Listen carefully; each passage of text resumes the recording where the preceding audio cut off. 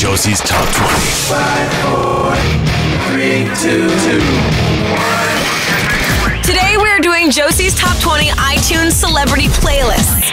It's Josie's Top 20 Canadian bands. The topic changes every week. Josie's Top 20 bands that hate their own tunes. Welcome to Josie's Top 20 One Hit Wonders. It's Josie's Top 20 Rock and Roll Tweeters. Josie's Top 20. Hanging with me today, I got Coldplay. We're doing a song with a girl, an upcoming singer who might be good one day called Rihanna.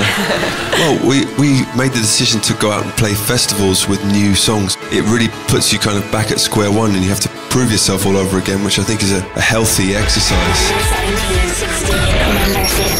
Josie's Top 20. From Blink 182, sitting with me today, we have Mark Hoppus. Mark, how you doing? Good. How are you today? You wrote a you wrote a song about Josie. Yes, it was about you. Uh, well, why did you write it specifically about me?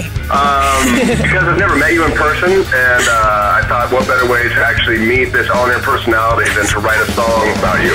right, right. At Coachella, sitting with Mark from Foster the People, you had a funny story about covers. Funny, I, I just woke up today uh, to, to an email of, of a video of, of Weezer covering Pumped Up Kicks. I, I think they did it last night. What?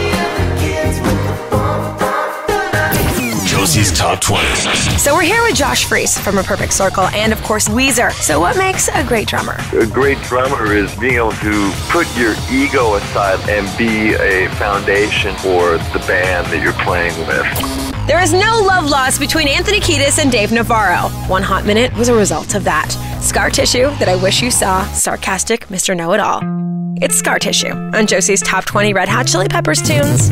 If I got pelted with Mentos every time I played a certain song, I probably would stop playing it too. For a long time, we didn't play Big Me because every time we played it, people would throw Mentos at our faces. It's the Foo Fighters. This is Big Me on Josie's Top 20 Bands That Hate Their Own Tunes.